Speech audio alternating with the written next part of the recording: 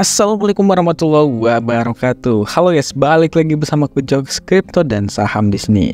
Oke, jadi kali ini kita bakalan lanjut untuk mengulik-ngulik harga PP Coin. ini PP Coin apakah masih bagus ya guys? Apa enggak gitu. Nah, jadi kalau kalian ya yang belum beli PP, kalian bisa tonton video ini. Sebenarnya masih bagus enggak atau masih layak enggak gitu ya?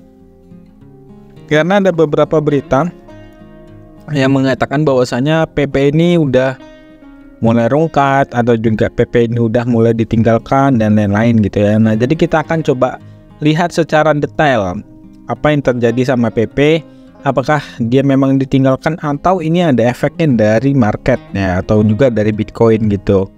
Oke, sebelum kita lanjut untuk melihat uh, uh, detailnya, di sini kalian bisa lihat harganya 9, uh, 1191. Kita akan coba lihat beberapa berita yang mungkin beredar. Tapi sebelumnya kita cek dulu nih dari Crypto Bubbles ya ini altcoin udah naik guys ya. Jadi ini nggak usah panik banget kalian. Kalau kalian yang beli koin-koin kemarin atau yang belanja-belanja ya itu udah lumayan cuan banget guys. Nah tapi tetap waspada. Mungkin ini naiknya hanya sementara karena Bitcoin sedang diambang uh, ini ya ambang batas untuk melanjutkan penurunan. Jadi tinggal menunggu aja. Sekarang kita coba lihat dari news atau juga berita yang mungkin beredar ya. Di sini ada banyak ya gambar-gambar PP. Nah, jadi kita akan coba refresh saja deh nggak apa-apa. Untuk PP coin, anjay, ngapain terpencet nih?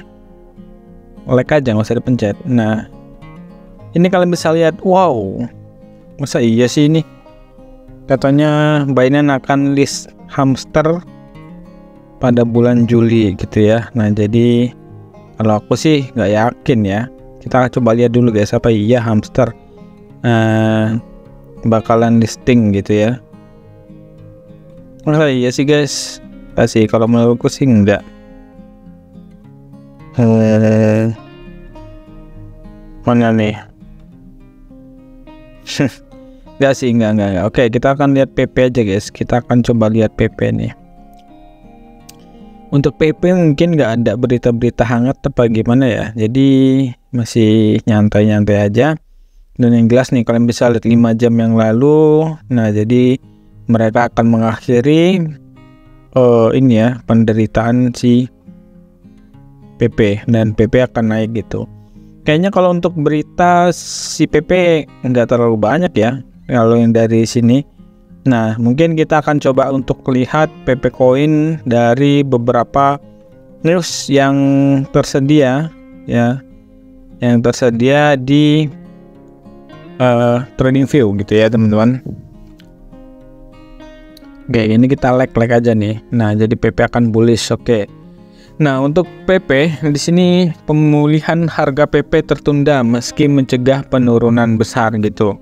Nah, ini adalah berita tentang PP yang dikeluarkan oleh BN Crypto. Nah, jadi di sini kita lihat aduh, kenapa sih ini? Ini kenapa nih, Bos? Ini kenapa nih? Kenapa dilihat di super chat? Udah kita skip dulu tuh beritanya. Kita lihat yang satu lagi kita cek nih apakah hari-hari meme koin mania sudah berakhir? Nah jadi ini berita ya sebenarnya beritanya kayak masih ambigu gitu. Jadi jangan mengatakan apakah ini meme koin itu udah berakhir masanya gitu ya. Oke, jadi menurut uh, eh, CEO dari CryptoQuan yaitu koin meme yang dulunya naik atau juga itu koin meme yang dulunya hype itu bakalan uh, turun ya. Kalau misalnya dia tidak di backup sama yang uh, punya duit besar gitu. Oke.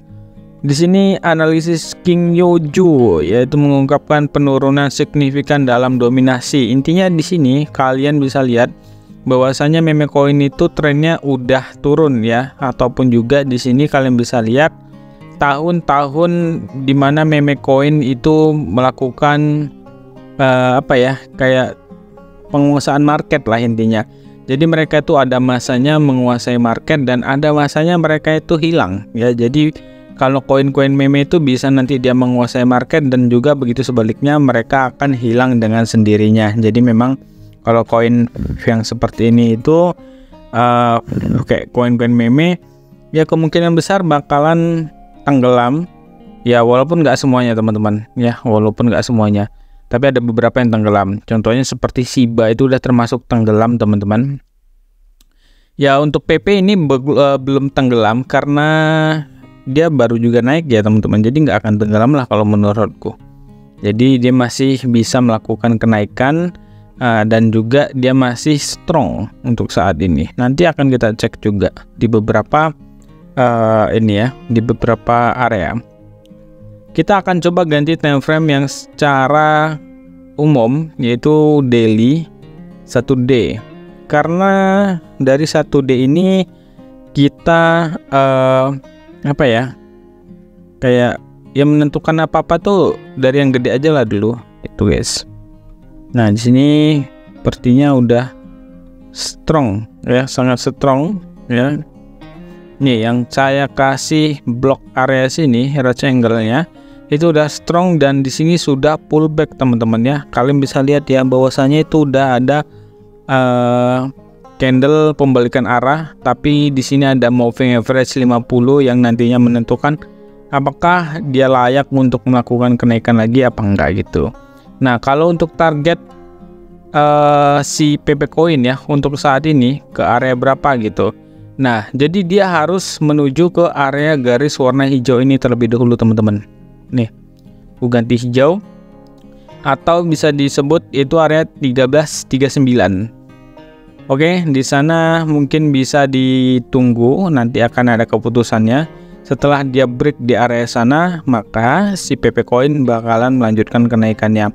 Atau bisa aja dia langsung melanjutkan kenaikannya seperti yang ada di sini teman-teman ya Nah, ketika dia turun, dia akan melanjutkan kenaikan. Nah, jadi di sini kalian bisa lihat ini ada beberapa candle-candle pembalikan arah dan ini kita juga bisa menunggu candle-candle pembalikan arah yang dimiliki oleh si PP Coin. Nah, jadi untuk kalian yang belum di PP sekarang mungkin masih worth it ya untuk beberapa uh, minggu atau bulan ke depan gitu.